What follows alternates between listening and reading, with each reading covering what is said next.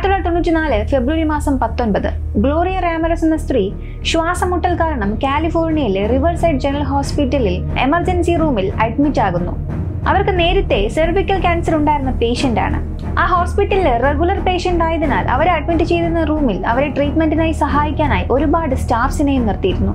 എന്നാൽ ഈ സമയത്ത് അരമണിക്കൂർ കഴിഞ്ഞ് ആ റൂമിനകത്തുണ്ടായിരുന്ന ഓരോ സ്റ്റാഫുകളായി പെട്ടെന്ന് പെട്ടെന്ന് മയങ്ങി വീഴുകയാണ്. എന്ത് പറ്റിയെന്ന് ആർക്കും മനസ്സിലാകുന്നില്ല. ആ ഹോസ്പിറ്റൽ തന്നെ ഒരു സെക്കൻഡ് സ്തംഭിച്ചു പോവുകയാണ്. ഇത് കണ്ട പലരും ഭയന്ന് ആ ഹോസ്പിറ്റലിൽ നിന്നും പുറത്തേക്ക് ഓടാൻ തുടങ്ങി. മയങ്ങി വീണ പലരെയും ആ ഹോസ്പിറ്റലിൽ തന്നെ അഡ്മിറ്റ് ചെയ്യാനും തുടങ്ങി. എന്തുകൊണ്ട് ഇങ്ങനെ സംഭവിക്കുന്നു? എങ്ങനെ ഇങ്ങനെ സംഭവിക്കുന്നു എന്നൊന്നും ആർക്കും മനസ്സിലായില്ല. സത്യത്തിലെന്ന് ഗ്ലോറിയ രാമരസിന് എന്തായിരിക്കും സംഭവിച്ചിട്ടുണ്ടാവുക? അവരെ ട്രീറ്റ്മെന്റ് ചെയ്തിരുന്ന സ്റ്റാഫ്സ് എല്ലാം എന്തുകൊണ്ടാണ് മയങ്ങി വീണത്? നിങ്ങൾ കണ്ടിട്ടുള്ള മിസ്റ്ററി വീഡിയോസിൽ നിന്നെല്ലാം ഇത് വളരെ വ്യത്യസ്തമായ ഒരു മെഡിക്കൽ മിസ്റ്ററി ആയിരിക്കും.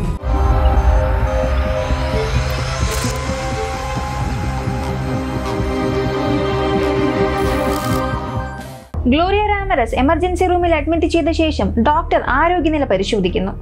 നേരത്തെ ഇവർ ഒരു സെർവിക്കൽ ക്യാൻസർ പേഷ്യന്റ് ആയതിനാൽ തന്നെ അവരുടെ മെഡിക്കൽ റെക്കോർഡ്സ് എല്ലാം ആ ഹോസ്പിറ്റലിൽ ഉണ്ടായിരുന്നു.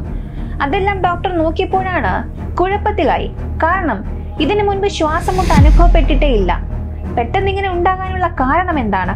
ഡോക്ടർ അവരുടെ ആരോഗ്യനില നോക്കിക്കൊണ്ടിരിക്കുമ്പോൾ തന്നെ പെട്ടെന്ന് മറ്റൊരു പ്രശ്നവും ഉണ്ടാകുന്നു. അവരുടെ ഹാർട്ട് ബീറ്റ് കൂടാൻ തുടങ്ങി. ബ്ലഡ് പ്രഷർ കുറയാൻ തുടങ്ങി. ശ്വാസം മുട്ടൽ കൂടാൻ തുടങ്ങി.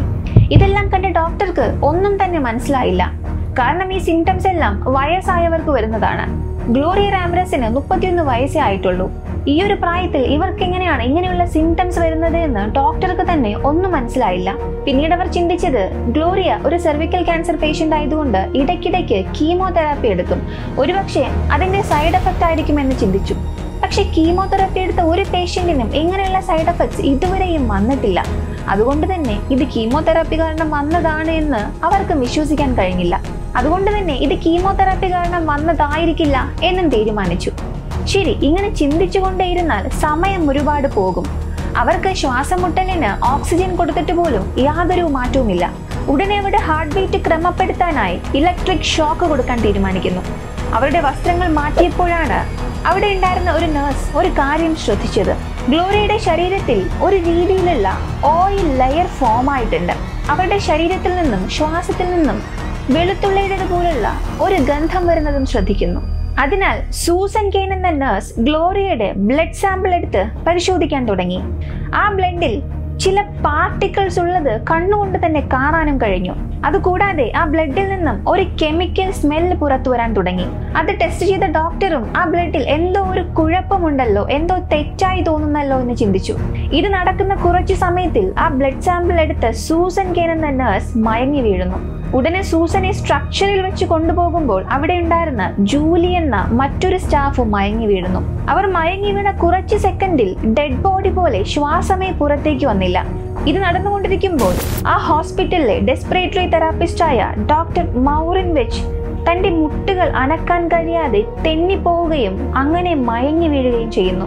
അതുപോലെ അവിടെ ഉണ്ടായിരുന്ന ഓരോരോ സ്റ്റാഫായി മയങ്ങി വീഴുന്നു. ഇത് കണ്ട് ഭയന്നുപോയ ബാക്കിയുള്ള സ്റ്റാഫ്സ് എല്ലാം ആ ഹോസ്പിറ്റലിലെ പേഷ്യൻസിന് ഒന്നും സംഭവിക്കാതിരിക്കാനായി അവരെല്ലാം ഹോസ്പിറ്റലിന് പുറത്താക്കുകയും പാർക്കിംഗ് യാർഡിൽ കൊണ്ടുവരികയും ചെയ്തു. എത്ര ശ്രമിച്ചിട്ടും ഗ്ലോറിയുടെ കണ്ടീഷൻ സമയം പോകുന്തോറും മോശമാകാൻ തുടങ്ങി. അന്ന് രാത്രി എട്ട് അൻപതിന് ഗ്ലോറിയ മരിച്ചു. അവരുടെ ബോഡി സാലി എന്ന സ്റ്റാഫ് ഐസൊലേഷൻ റൂമിലേക്ക് കൊണ്ടുപോയി. പോകുന്ന വഴി തന്നെ സാലിക്ക് വോമിറ്റിംഗ് വന്നു. കൂടാതെ മറ്റു സ്റ്റാഫ്സിനെ പോലെ അവരും മയങ്ങി വീഴാൻ തുടങ്ങി. അതിനാൽ തന്നെ സാലിയെ ഉടനെ ആ ഹോസ്പിറ്റലിൽ തന്നെ അഡ്മിറ്റ് ചെയ്തു. നേരത്തെ പറഞ്ഞ ജൂലിയുടെ അവസ്ഥ അതിലും വളരെ മോശമാണ്. അവരുടെ ബോൺസിൽ ഉണ്ടായിരുന്ന ടിഷ്യൂസ് എല്ലാം ഓരോന്നായി നശിക്കാൻ തുടങ്ങി. ആ ഹോസ്പിറ്റലിൽ ഉണ്ടായിരുന്ന മുക്കാൽ ഭാഗത്തോളം സ്റ്റാഫ് ഇതുപോലെ ബാധിക്കപ്പെട്ടു. പലരും അതേ ഹോസ്പിറ്റലിൽ തന്നെ അഡ്മിറ്റുമായി. ഇതെല്ലാം എന്തിന് നടക്കുന്നു? എങ്ങനെ നടക്കുന്നു എന്ന് കാരണം ആർക്കും ഒന്നും മനസ്സിലായില്ല. രാത്രി പതിനൊന്ന് മണിക്ക് ഹസാഡ്സ് മെറ്റീരിയൽസ് ടീം അവിടെ വന്ന് ആ ഹോസ്പിറ്റലിൽ എന്തെങ്കിലും ടോക്സിക് കെമിക്കൽ ഉണ്ടോ എന്ന് നോക്കുന്നു. എന്നാൽ അങ്ങനെ ഒന്നും തന്നെ അവിടെ ഇല്ലായിരുന്നു. ഒരുപക്ഷെ ഗ്ലോറി ഉണ്ടായിരുന്ന സ്ഥലത്ത് എന്തെങ്കിലും കിട്ടുമോ എന്ന് നോക്കുന്നു. അവിടെയും ഒന്നും കിട്ടിയില്ല. ഈ ന്യൂസ് മീഡിയയിൽ ട്രെൻഡ് ആകാൻ തുടങ്ങിയതും ഈ സംഭവം യഥാർത്ഥത്തിൽ നടന്നതാണോ എന്നറിയാൻ പല സ്ഥലങ്ങളിൽ നിന്ന്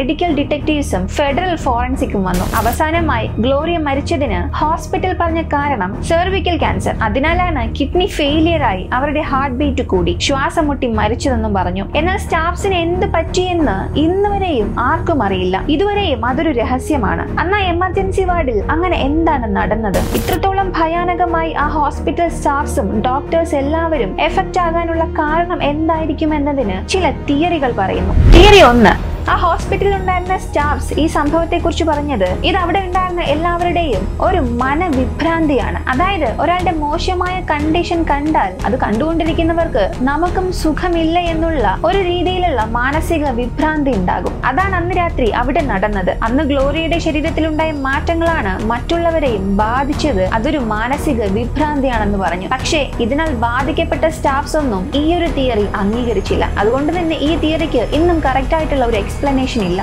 തിയറി രണ്ട്. ഈ തിയറി വിശ്വസിക്കാൻ പറ്റുന്നതല്ലെങ്കിലും ഫേമസ് ആയ തിയറികളിൽ ഇതും ഒന്നാണ്. അതായത് ആ സമയത്ത് ഏലിയൻസിനെ കുറിച്ചുള്ള റൂമേഴ്സ് അധികം ഉണ്ടായിരുന്നതിനാൽ ചിലർ പറഞ്ഞത് ഗ്ലോറി ഒരു മനുഷ്യ സ്ത്രീയല്ല അവരൊരു ഏലിയൻ ആണ്. അതിനാലാണ് അവരുടെ ശരീരത്തിലുണ്ടായ മാറ്റം മറ്റുള്ളവരെയും ബാധിച്ചത് ഇങ്ങനെയുള്ള സംഭവം നടന്നത് എന്ന് വളരെ വിചിത്രമായ ഒരു തിയറി പറഞ്ഞു. ഈ ഒരു തിയറിയാണ് വിശ്വസിക്കാൻ പറ്റുന്ന രീതിയിലുള്ളത്. ഈ ഇൻസിഡന്റ് ഇൻവെസ്റ്റിഗേഷൻ ചെയ്യാനായി ഒരു ടീം ലോറൻസ് ലിവർമോർ നാഷണൽ ലബോറട്ടറിയിൽ നിന്നും വന്നു. അവർ ഗ്ലോറിയുടെ ബോഡി ഇൻവെസ്റ്റിഗേറ്റ് ചെയ്തിട്ട് പറഞ്ഞത് അവളുടെ ബോഡിയിൽ ഡൈമെറ്റൽ സൾഫോക്സൈഡ് അതായത് ഡി എം എസ് ഒ എന്ന ഒരു കെമിക്കൽ കലർന്നതായി കണ്ടെത്തി. ഈ ഡി എം എസ് ഒ എന്ന കെമിക്കൽ നയന്റീൻ സെഞ്ചുറിയിൽ കണ്ടുപിടിച്ചതാണ്. തുടക്കത്തിൽ ഈ ഒരു കെമിക്കലിന്റെ സൈഡ് എഫക്ട്സ് ഒന്നും അറിയാതെ ഇതിനെ ഒരു ട്രീറ്റ്മെന്റിനായി ഉപയോഗിച്ചു. പ്രധാനമായും കൈകാൽ മുട്ട് വേദനയുടെ ട്രീറ്റ്മെന്റിനായി ഉപയോഗിച്ചു. നിറയെ അത്ലറ്റ്സ് ഈ ഒരു കെമിക്കൽ കൂടുതലായും ഉപയോഗിച്ചിരുന്നു. പിന്നീട് ഇതിന്റെ സൈഡ് എഫക്ട്സ് അറിഞ്ഞ ശേഷം അതിനെ മുഴുവനായും ബാൻ ചെയ്തു. പബ്ലിക് യൂസേജിന് ബാൻ ചെയ്താലും മറ്റ് ഫീൽഡുകളിൽ ഇത് ഉപയോഗിച്ചു വന്നു. ഹാർഡ്വെയർ ഷോപ്പിൽ ജെൽ മോഡലിൽ ഇത് അപ്പോഴും ലഭ്യമായിരുന്നു. അതിനാൽ ഇതിനെ ഒരുപാട് പേർ അൺപ്രിസ്ക്രൈബ്ഡ് മെഡിസിൻ ആയി ഉപയോഗിച്ചിരുന്നു. അതിൽ ഒരാളായിരുന്നു ഗ്ലോറിയ രാമറസ് അവരൊരു സെർവിക്കൽ ക്യാൻസർ പേഷ്യന്റ് ആയതിനാൽ അവരുടെ കൈകാൽ മുട്ട് വേദന ഉണ്ടാകുമ്പോൾ ഒരു ഓയിൽമെന്റ് ഉപയോഗിച്ചിരുന്നു. ആ ഓയിൽമെന്റിലും ഈ ഒരു കെമിക്കൽ ഉണ്ടായിരുന്നു. ഹോസ്പിറ്റൽ ഗ്ലോറിയയ്ക്ക്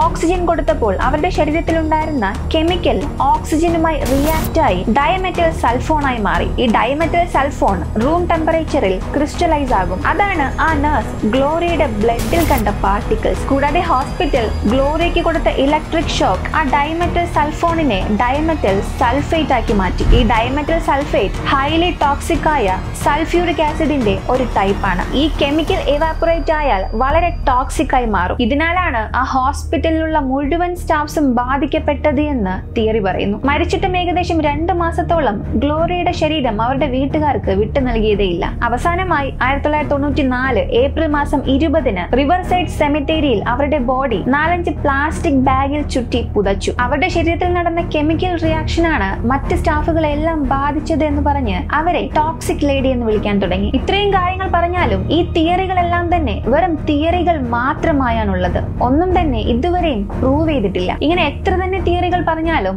അന്ന് രാത്രി സത്യത്തിൽ എന്താണ് സംഭവിച്ചത് എന്നുള്ളത് ഇന്നും ഒരു രഹസ്യമായി തന്നെയുണ്ട്. ഈ ഒരു സംഭവം കേട്ടിട്ട് നിങ്ങൾക്ക് എന്താണ് തോന്നിയത്? ഈ പറഞ്ഞ തിയറികളിൽ നിങ്ങൾ ഏതിലാണ് വിശ്വസിക്കുന്നത്?